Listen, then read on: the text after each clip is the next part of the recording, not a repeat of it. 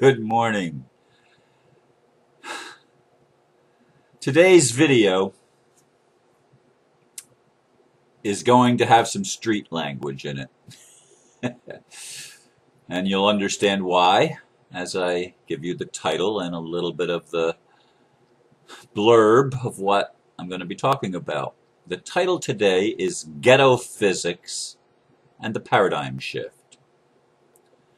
Last night in our spiritual enlightenment group, besides discussing current affairs in RuSA and more, we watched and discussed the movie Ghetto Physics from the makers of What the Bleep Do We Know? One critic wrote, This isn't chicken soup for the soul. It's a bitch slap for the slumbering. It's about the game we all play on this planet and the paradigm shift that's happening everywhere. It's based on the companion book Ghetto Physics Redefining the Game. Here's the link to watch the entire movie online. And of course, that link will be provided both on YouTube and Facebook. And it can be watched on YouTube. Where to begin?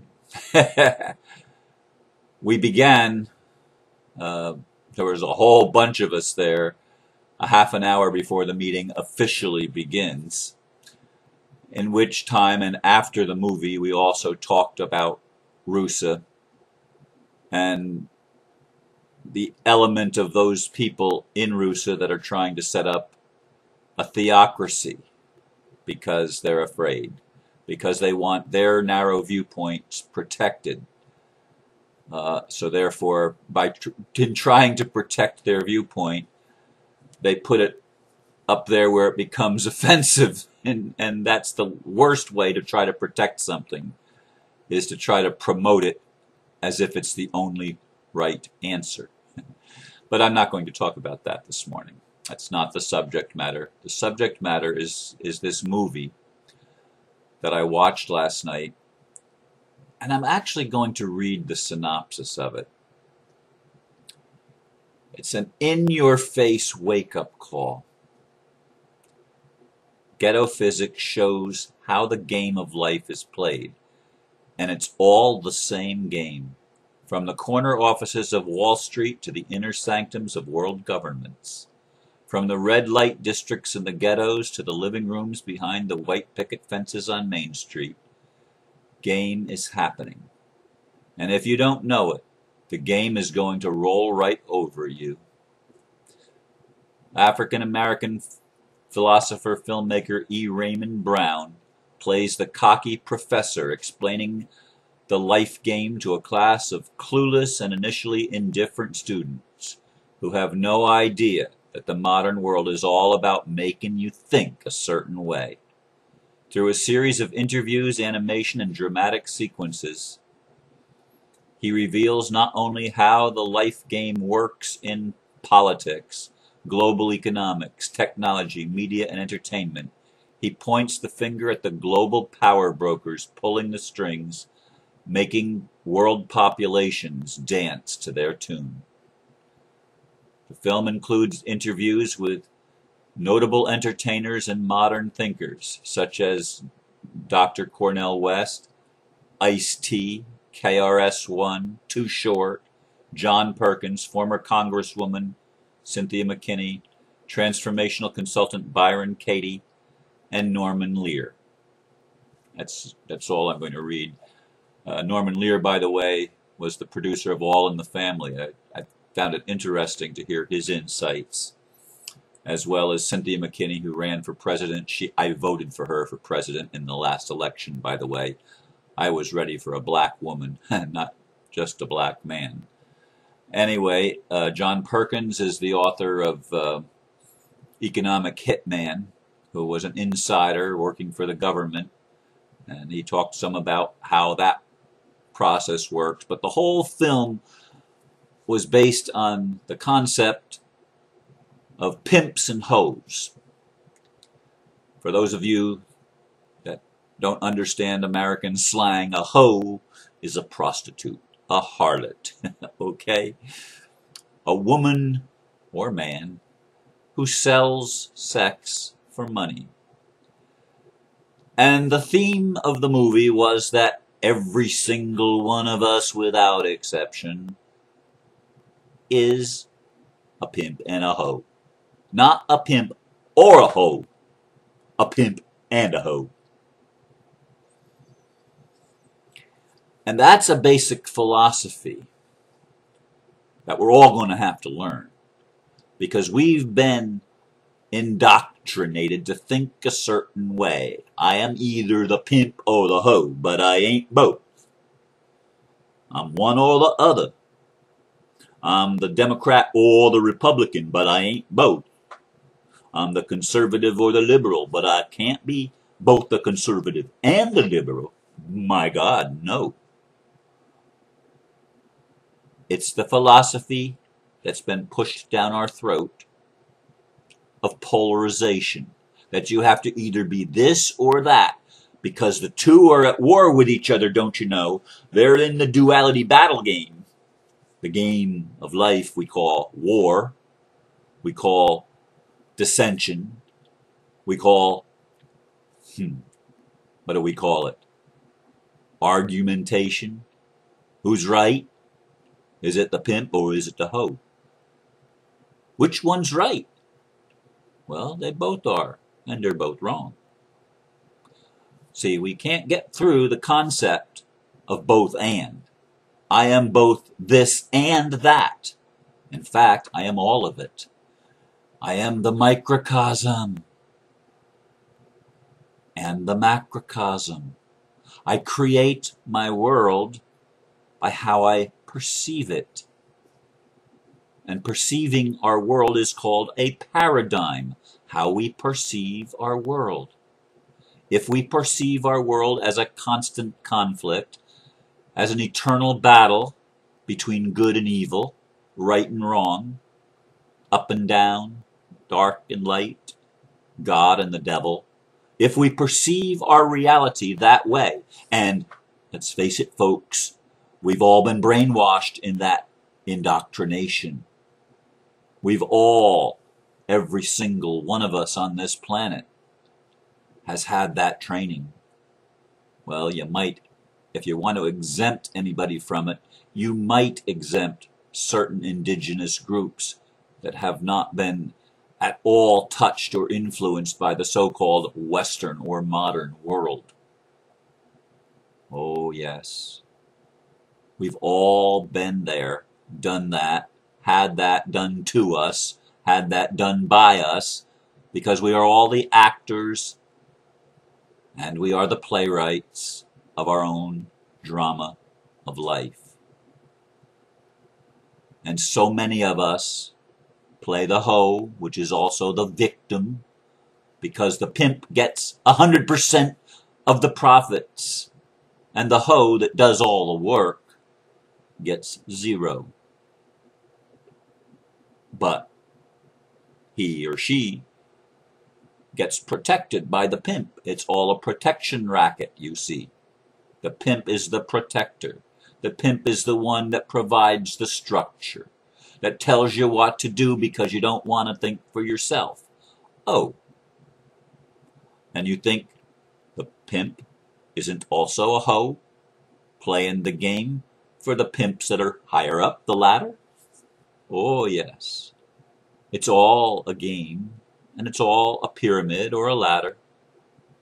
And somebody, somebody at the top is reaping all the benefits and all the profits without any of the doing any of the work. That's the game that we're involved in. The international bankers sit at the top and they provide no product no benefit, no service, except to deceive everybody else. The brainwashed ones. Or the brainwashers, I should say. They are the brainwashers. They may be the hoe. They may they hire the hoes to play the politicians, to play the the little guy bankers, to play the CEOs of the corporations to play the preachers and the religious leaders of our world.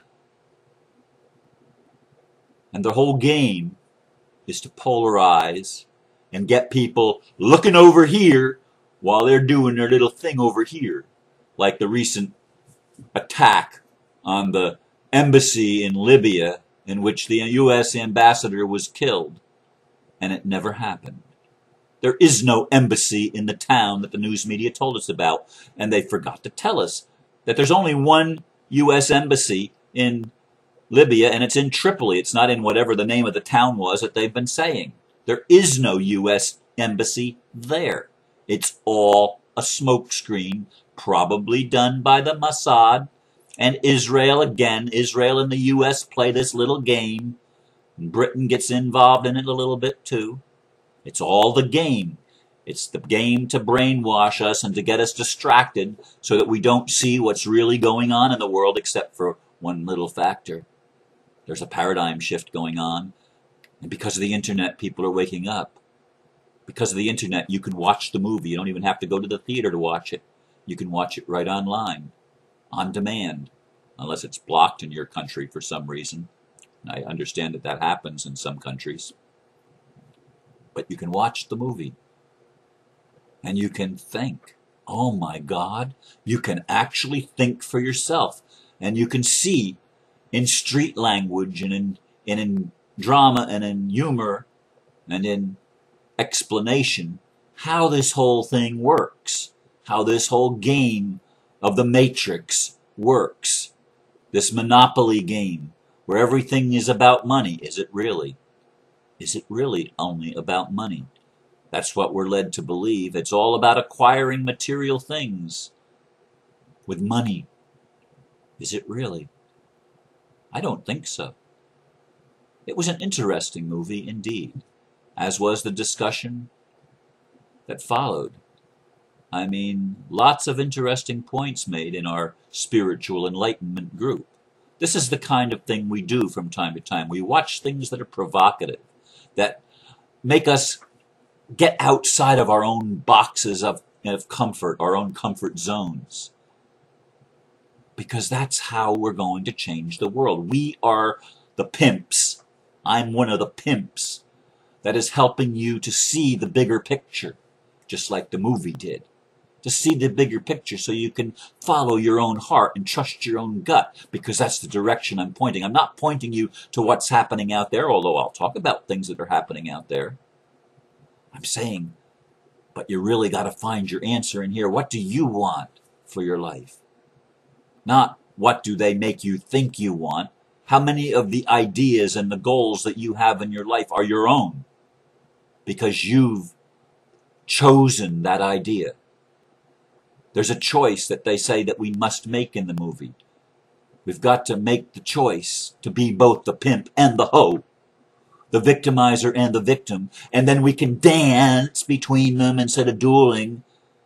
When we're either or, we're going to be dueling. And that's why people in the Republic that, that are still stuck in the old paradigm thinking of God versus the devil and good versus evil can never be true leaders because you can't lead even your own life if you don't see the dance. If you're still caught up in the BS of the of the propaganda that it's either or. It's not either or. It's all of the above. It's all of the above. I am all of it.